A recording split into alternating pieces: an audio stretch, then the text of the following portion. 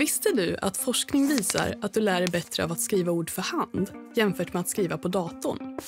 Här kommer ett grymt tips på hur du lär dig glosor med papper och penna.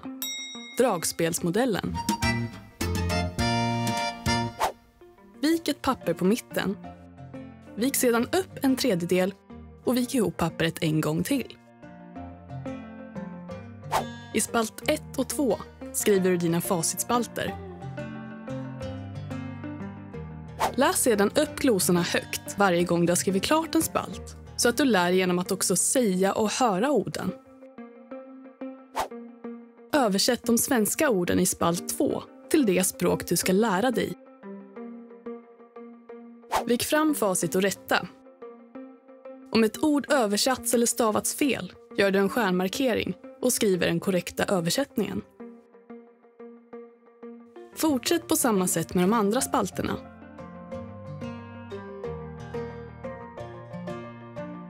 Du har fullt fokus på vad som kommer ner på pappret tack vare att du hela tiden skriver, läser och uttalar orden, vilket förbättrar inlärningsförmågan.